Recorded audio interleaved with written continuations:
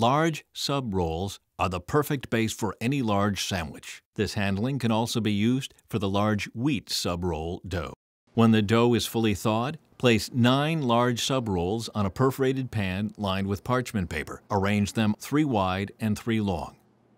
Make sure the rolls are evenly spaced on the pan to allow them to expand during proofing. Place the pans on the rack, leaving a space between each to allow even airflow and room for the rolls to expand.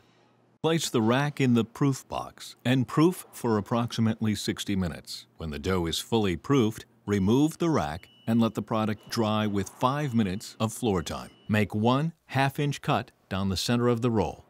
Set the oven temperature to 380 degrees. Set the timer for 25 minutes with 25 seconds of steam. After setting the oven timer, place the rack in the oven, close the door, and start the bake.